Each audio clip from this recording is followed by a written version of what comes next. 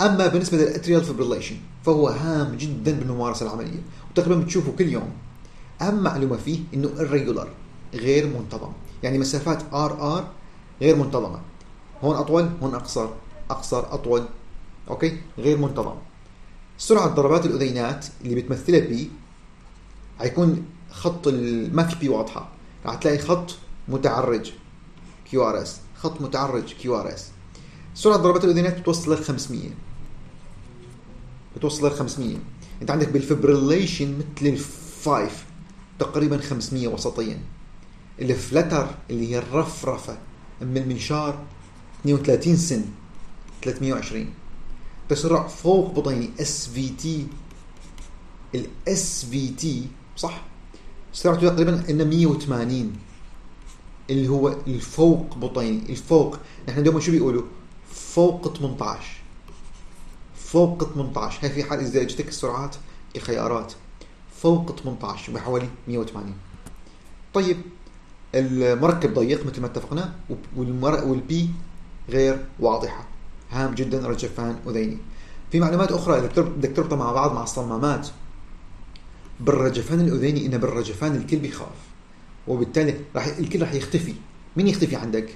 اس 4 صح؟ موجة بي راح تختفي.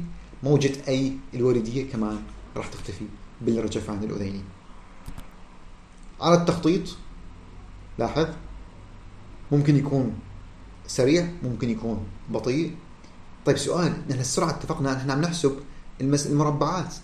طيب إذا أنا عم أقول لك غير منتظم يا ترى رح تحسبي المربعات بين هالار وار ولا هالار وار الجواب ما راح يهمك أنت هلا بهالفحص بس لحتى يعني أرضي فضولك.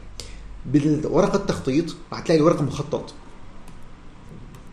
كل ثانية مخطط. فاحنا بنحسب خلال ست ثواني كم مركب QRS في ونضربه ب 10 في بيعطيك عدد الضربات بالدقيقة. أوكي؟ يعني في له خطة غير الخطة المعهودة وحساب المربعات. بس مشان تحطها في بالك.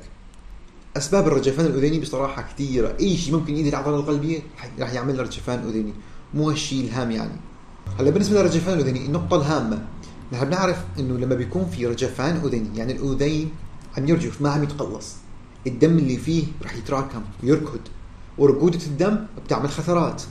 هالخثرات ممكن تعمل لي مشاكل. طيب يا ترى كل مريض رجفان أذيني أنا أعطيه مميعات؟ شو هو المعيار لحتى أعطي المميعات الفرق بينك أنت كطالب والممارسة السريرية إنه أنت كطالب بتعرف إنه رجفان الاذيني يسبب خثرات. لكن بالممارسة السريرية أيمت لازم أعطي مميعات. اللي بيجاوب على هيك أسئلة في شيء اسمه معايير سريرية. هاي بالممارسة رح تعرفون ما توجع راسك ولا تخاف. اللي أحيانا اللي لازم تعرفون انت هلا المعيار هو اس اتش اي دي شادز فاس. أوكي؟ ورا الاي ورا الاس بحط رقم 2 2 أنا بقرأها أحيانا من السرعة. شا 2 ديس 2 هن شا 2 وأنا ديس 2 أوكي شا 2 دي إس 2 فاس خلينا شو نعرف شو عم شو عم يعبروا هلا. أحرف. ال C قصور قلب. ال H hypertension في حال إذا أجتك مسألة سريريه لازم تعرف تطبق هالمعيار. A العمر فوق ال 75 ياخذ نقطتين. السكري ياخذ نقطة. ال stroke الاحتشاء الدماغي ياخذ اثنين. ال vascular إذا كان في مريض عنده احتشاء قلبي ياخذ واحد. العمر بفئة أقل من ال 75 يأخذ واحد والأنثى تأخذ رقم واحد. الفكرة أنا جاني مريض معناتها ال- ال- التكنيك شو راح يصير؟ حتى بسرعة القرار. كل شيء مريض اجاني مريض عنده خفقان. عملت له تخطيط ECG شفت في رجفان اذيني الخطوة اللي بعد اللي لازم يعني تجي بذهني CHAD score أحسب CHAD score أحسب هذا المعيار. فأنا مجرد ما كتبت أنا عم بكتب باضباط المريض مريض لديه رجفان اذيني تلقائيا. CHAD score يساوي كذا. تلقائيا. okay؟ هدول بيجي مع بعض. رجفان اذيني CHAD score CHAD VASc score طيب أنا حسبت المعيار فإذا كانت قيمته صفر خلاص ما في داعي أعطي شيء. صفر صفر لا أعطيه صفر. الواحد ممكن أعطيه. أسبرين ممكن أعطي أحيانا. مضاد- مضادات التخثر الفموي وهي المفضلة. okay؟ مثل رايفروكسابان مثلا. أكثر من اثنين لازم أعطيه. مضادات تخثر فمويه لكن في نقطة هامة جدا. هامة جدا. إذا كان مريضي عنده صمام صنعي أو تضيق تاجي شديد. سبب له رجفان أذيني. هل في داعي أحسب الشاد سكور؟ لا. فورا مريض عنده صمام ميكانيكي. راح تعطيه مميعات فورا. صح؟ مريض تضيق تاجي شديد وعنده رجفان أذيني. فورا ولا أحسب CHAD ولا شيء. فورا أعطي وارفارين. فورا وارفارين. لا رايفاروكسابان ولا أي دواء آخر. مريض صمام صنعي مريض تضيق صمام تاجي شديد فورا وارفارين فورا وارفارين okay؟ هي بيحبوا يسالوكم عليه ليه أنت بهالمستوى ما راح يسالك إذا كانت واحد ولا كانت اثنين لا لا لا. راح يسألك فورا إذا كان صمام صنعي أو تضيق تاجي شديد شو راح تعمل؟ وارفارين حصرا حصرا وارفارين. وليس مضادات تخثر أخرى. طيب. شفت بعض التخطيط عنكم لاحظ مثل هالتخطيط.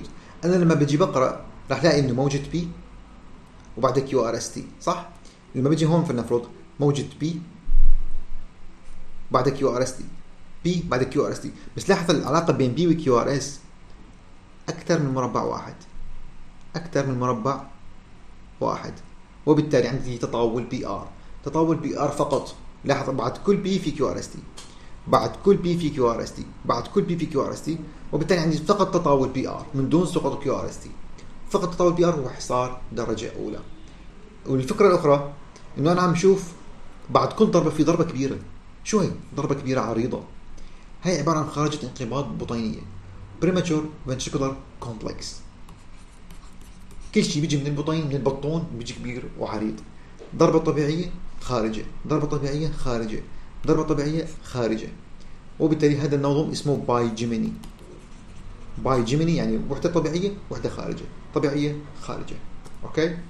هي خوارج الانقباض العريضة.